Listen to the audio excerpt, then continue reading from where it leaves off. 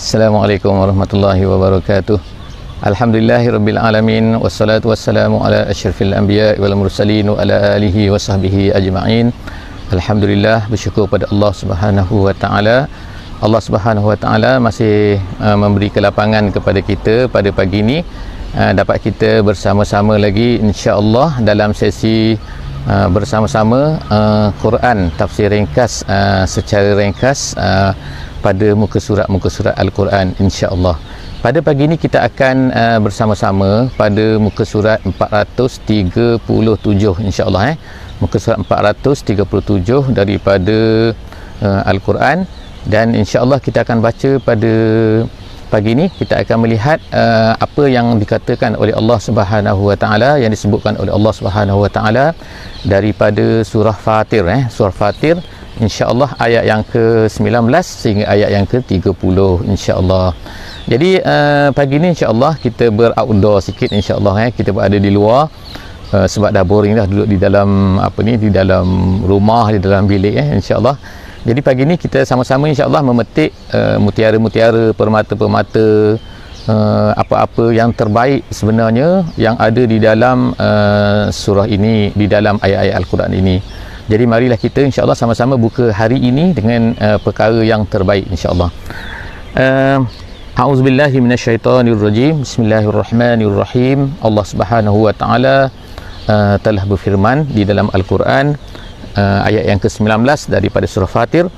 Wal basir walaz zulumatu walan nur walaz zillu walal harur wa ma yastawil ahya'u walal amwat inna allaha yusmi'u man yasha wa ma anta bimusmi'in man fil kubur sadaqallahu azim. Uh, saya bacakan sedikit uh, agak panjang sikit uh, ayat pada pagi ini iaitu daripada ayat yang ke-19 sehingga ayat yang ke-22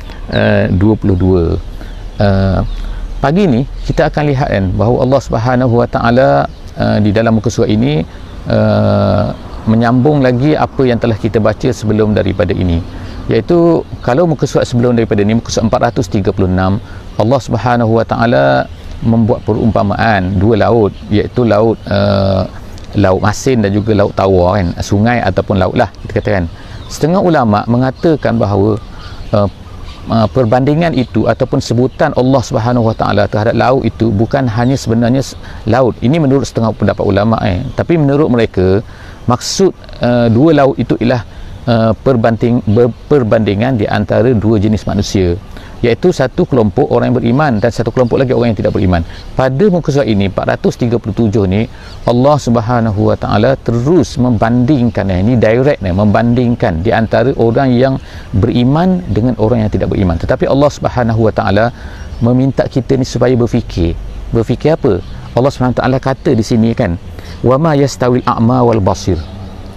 Tak sama di antara orang buta dengan orang yang celik. Orang dapat melihat dan orang tak dapat melihat kalau orang manusia ni tak dapat juga nampak benda ni tak nampak juga perbezaan ni tak tahulah kan.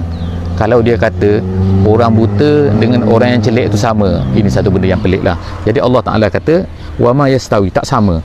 Itu yang pertama. Yang kedua Allah Ta'ala kata walaz zulumat walan nur. Dan juga di antara uh, kegelapan dengan cerah.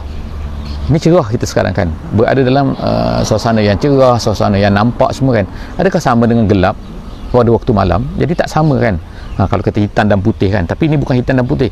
Cerah dan juga gelap. Kemudian yang ketiga wala zillu walal harur.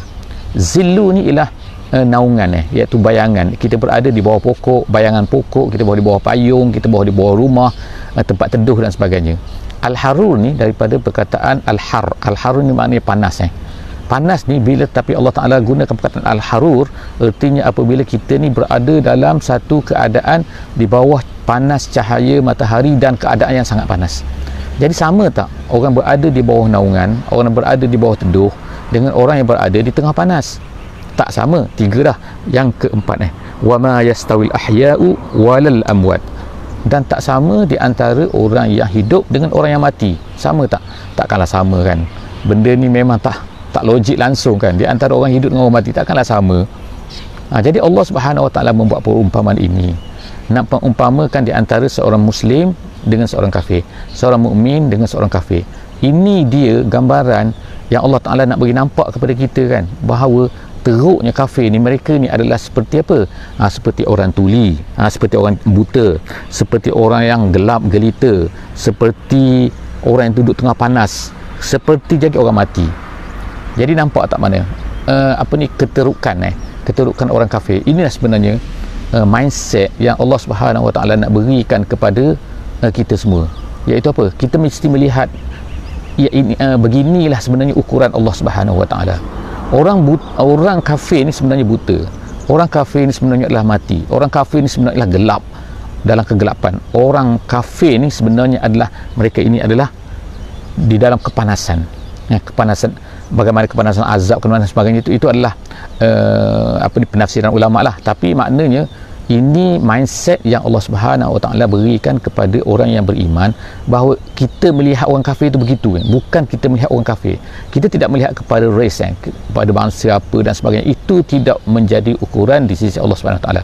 Sebab apa? Manusia tidak boleh pilih kan? Mereka ni nak jadi apa? Nak jadi orang uh, apa ni Melayu ke nak jadi Cina ke nak jadi India ke nak jadi orang putih ke nak jadi apa ke itu tak ada pilihan tetapi Allah Subhanahu Wa Taala melihat manusia kepada iman ataupun tidak imannya mereka. Seterusnya Allah Subhanahu Wa Taala kata wa ma ant innallaha yusmi man yasha. Innallaha yusmi man yasha. Allah Taala boleh memperdengarkan kepada siapa yang dikehendakinya. Artinya kalau Allah Taala nak bagi nampak orang tu Allah Taala. Jadi itu kerja Allah Subhanahu Wa Taala. Kita dah tanggungjawab kita sebagai manusia hanyalah uh, bekerja untuk menyampaikan. Kalau manusia tu, tu tak nampak juga, itu adalah itu bukan kerja kita lah. Sebab tu Allah Taala sebut kat sini, "Wa ma anta bimusmi'in man fil kubur."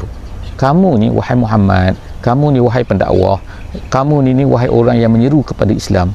Kamu ni tak boleh memberi memperdengarkan. Musmi' ni memperdengarkan, menjadi orang yang memperdengarkan. Maknanya menyampaikan suara. Kan? Tak boleh nak masuk dalam hati mereka. Itu bukan kerja kita. Musmi' kalau musma' iaitu orang yang musma' tu orang yang uh, diperdengarkan musmi' tu orang yang mendengar eh, memperdengarkan jadi kamu tak boleh memperdengarkan orang-orang mangfil kubur orang-orang yang dalam kubur orang yang dalam kubur siapa orang dalam kubur orang dalam kubur ni ertinya Allah Ta'ala bandingkan orang-orang yang mati iaitu orang-orang yang kafir ni orang-orang yang tak dapat dengar juga tak dapat faham juga ni kita dah cerita pada mereka tapi kita tak, tak faham tak dapat dengar juga. Itu makna Allah Ta'ala ibaratkan seperti orang dalam kubur. Ha, mereka dah, dah mati lah kan. Kemudian in anta illa nazir. Allah tegaskan lagi bahawa kerja kamu ni wahai Muhammad hanyalah apa? Nazir. Iaitu memberi peringatan je. Bukan kamu ni, ni boleh paksa orang kan. Kamu boleh ni menjadi mengubah orang tu tak boleh kan. Kita hanya berusaha inna arsalnaka bil haqqi basyiran wa nazira Allah tegaskan lagi. Tengokkan banyaknya penegasan Allah Subhanahu wa taala. Allah taala kata kat sini apa? Kami utuskan engkau ni dengan kebenaran basyiran wa nazira jadi banyak ayat tempat ni saya tak nak ulas dari sini kan. Perkataan ni insyaallah wa immin ummatin illa khala fiha nazir Allah tak ada beritahu dan sebelum daripada kamu ni sebelum daripada kamu ni tidak ada umat tidak ada umat illa Allah Taala kata khala. Khala ni makna salafa. Maknanya eh, khala tu maknanya salafa. Iaitu bukannya kosong tapi khala tu melainkan telah ada sebelumnya bersama dengan uh, umat itu rasul. Ada nazir. Nazir ni maknanya yang memberi peringatan. Maknanya tak ada kaum pun atas dunia ni sebelum daripada Nabi Muhammad sallallahu alaihi wasallam yang Allah Taala biarkan begitu saja. Tapi ada uh, orang yang akan memberi peringatan kepada mereka. Cuma kita hanya mengetahui 25 orang rasul dan kemudian kita mengetahui adanya nabi-nabi. Nabi-nabi itu sangat ramai 124 ribu orang. Bayangkan eh 124 ribu orang dan kemudian rasul-rasul 313 orang. Ha, jadi uh, umat umat Melayu dulu-dulu ada tak rasul? Ada. Tapi kita tak tahu dah siapa. Kita tak boleh katakan eh itu bukan tanggungjawab kita. Bukan kerja kita untuk menggali siapa rasul siapa tak rasul tu kan. Kita hanya wajib tahu dan pastikan apa yang diceritakan oleh Al-Quran iaitu 25 orang rasul. Kemudian wa in yukazzibuka faqad kazzaba allazina min qablihim ja'atuhum rusuluhum bil bayyinat wa biz zuburi wa bil kitabil munir. Allah Taala sebut eh ini adalah tasliyah lagi banyaknya tasliyah eh, di dalam Quran ni kepada Nabi SAW menunjukkan banyaknya kerja Nabi ni, ni dan usahanya Nabi SAW dan betapa uh, periknya eh, pertarungan eh, yang berlaku di antara Nabi dan juga orang-orang yang didakwahinya. Jadi begitulah kita sepatutnya kan kalau kita ni ni mengikut jalan Nabi SAW kita sepatutnya lah uh, menjadi sebagaimana Nabi sallallahu alaihi wasallam iaitu menyampaikan uh, bertugas sebagaimana apa yang telah dibuat oleh Nabi sallallahu alaihi wasallam iaitu menyampaikan Islam kepada manusia yang berada di depan kita yang sangat banyak pada hari ini. Jadi oleh kerana itulah maka Allah Taala bagi tasliah lagi. Tasliah ni perlu kepada orang-orang yang bekerja kuat eh. Ha, jadi insyaAllah mari kita bekerja kuat dan kita akan dapatilah betapa ayat ini sangat-sangatlah uh, apa ni terkenalah kepada kita kan. Ayat-ayat ni sangat-sangatlah maksudnya memberi rasa kepada kita. Iaitu kalaulah mereka ni mendustai kamu wahai Muhammad. Kamu bukan kamu seorang saja tapi orang-orang rasul rasul sebelum daripada kamu ni semua telah didustai.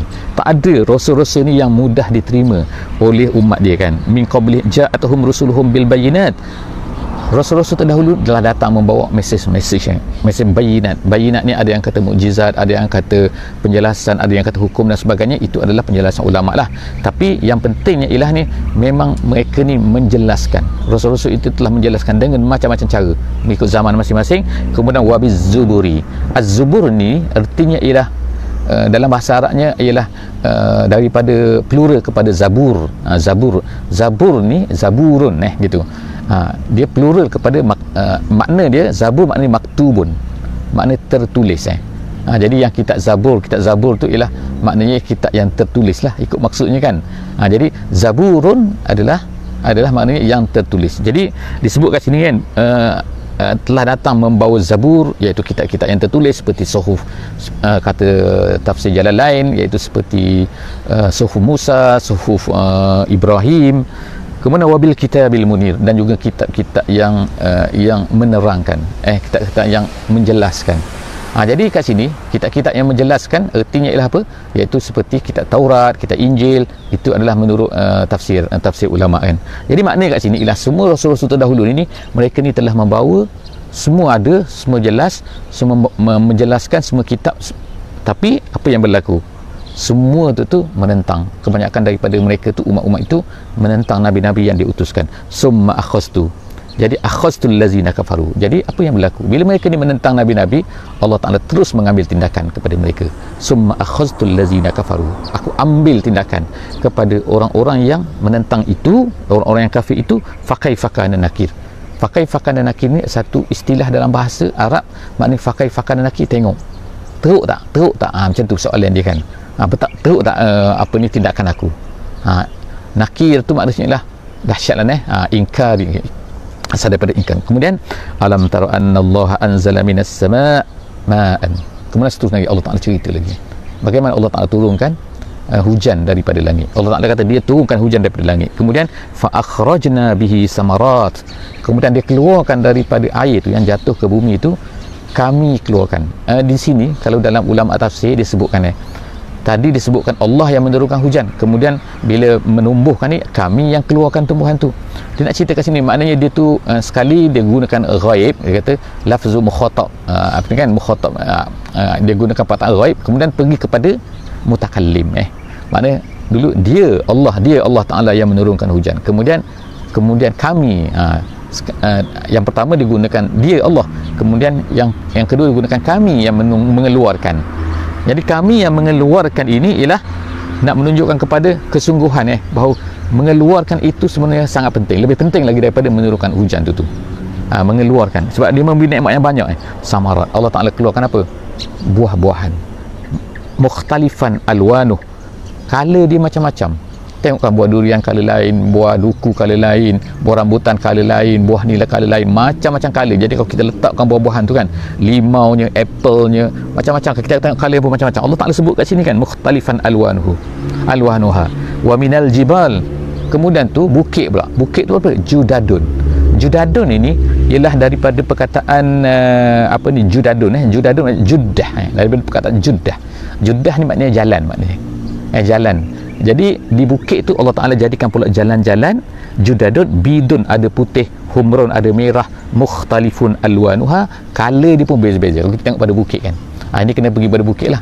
Kalau bukit kita biasa merah kan. Tapi di sana ada bukit warna biru ada bukit warna ni kan. insyaAllah kita boleh tengok dalam internet sekarang kan dalam YouTube kan.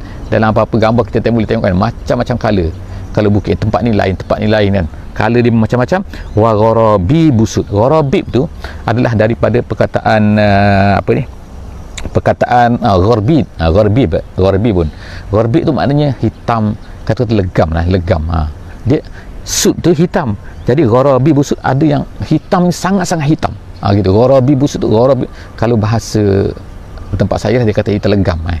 ha, kalau kuning siong kalau putih lepuk ha, gitu kan. Itu tambahan untuk menunjukkan kedahsyatan color tu. Ha, jadi Allah SWT sebut ini ada macam-macam ada color putih ada color merah ada hitam legam pun ada.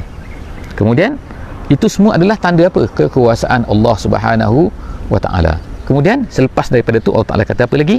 Wa minan nas wad dawab wal an'am mukhtalifun alwanuhu kadzalik bukan bukit je kala macam-macam. Bukan buahan je sekala macam-macam. Allah Taala sebut lagi tu manusia pun ada macam-macam juga. Wa minan nasi dan di kalangan manusia pun ada macam-macam juga. Wad dawab binatang-binatang pun ada kala macam-macam juga. Wal an'am mukhtalifun dan juga binatang-binatang ternak kan. Binatang-binatang yang tak ternak tengok zebra kan color macam-macam.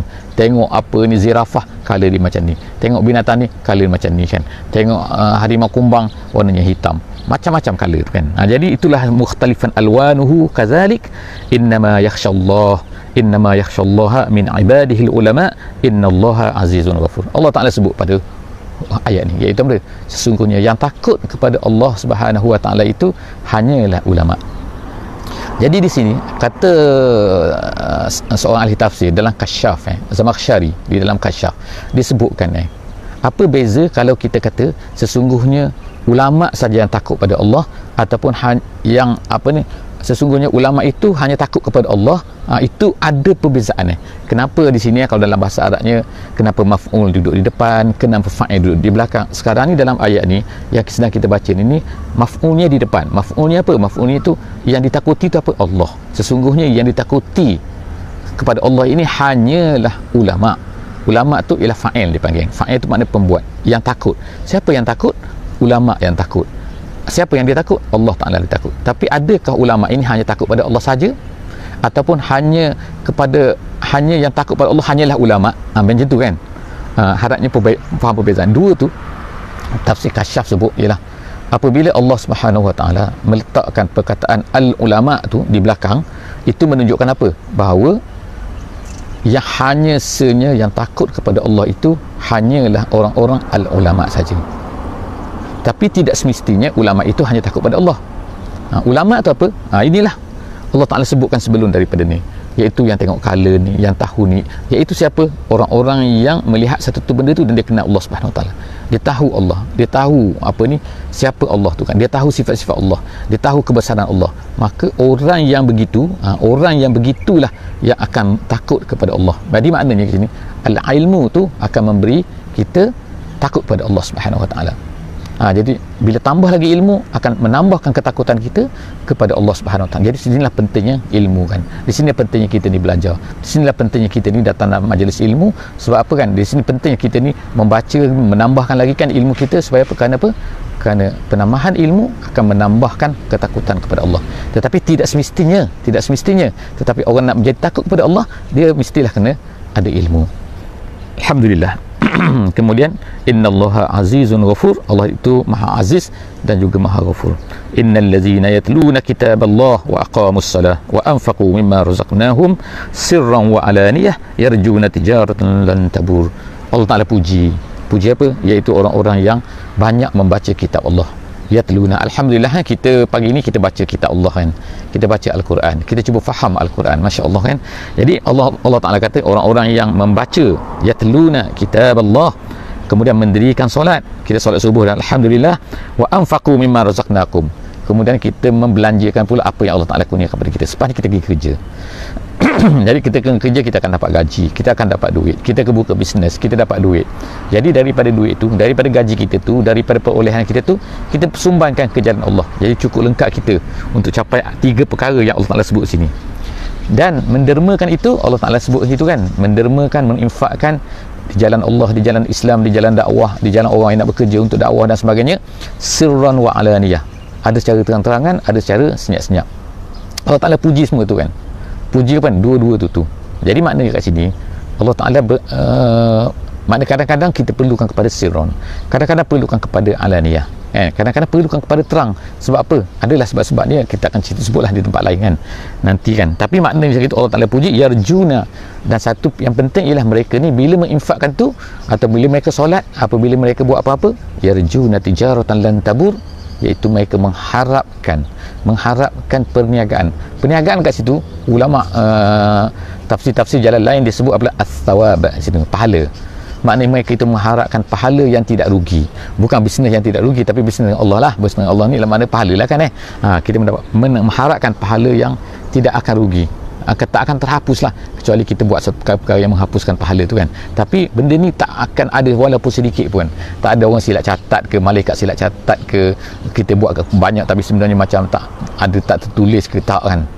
Semua dicatatkan oleh Allah Subhanahu Wa Taala ha, dengan uh, Allah Taala memerintahkan liwaffiyahum itu tujuan dia. Allah Taala nak bagi balas balik. Bukan catat saja tapi Allah Taala nak balas balik ujurahum wa yazidahum min fadlih. Kemudian bukan sekadar dituliskan sekadar cukup-cukup tu tak ditambah lagi. Wa yaziduhum wa yaziduhum wa yazidahum min fadlihi daripada kurniaan Allah Subhanahu wa taala.